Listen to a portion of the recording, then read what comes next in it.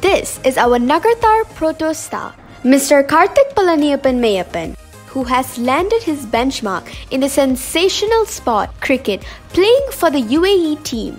He is son of Meiyappan Palaniappan and Selvi Subaya. He belongs to Vairavan Kovil Periyavagappu Pirivu. Hailing from Karaikudi, Tamil Nadu, Karthik shifted to Abu Dhabi at a young age along with his parents and completed his education there. He's a professional cricketer playing for UAE team. Karthik's interest in cricket spiked from his family background. Both his maternal and paternal family were into sports, and this has become a big motivation for his sports career.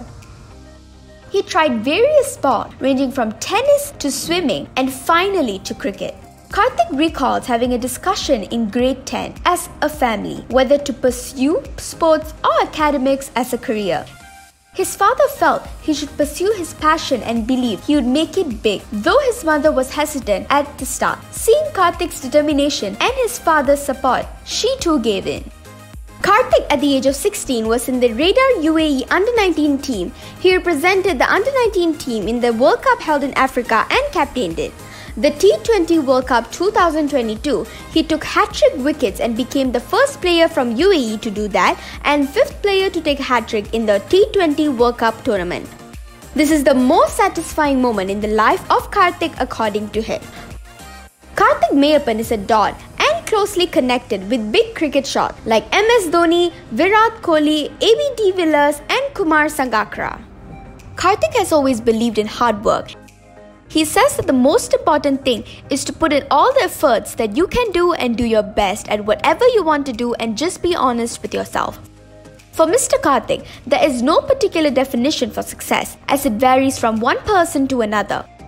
As far as he is concerned, he just wants to reach his maximum ability. That is what is success according to him.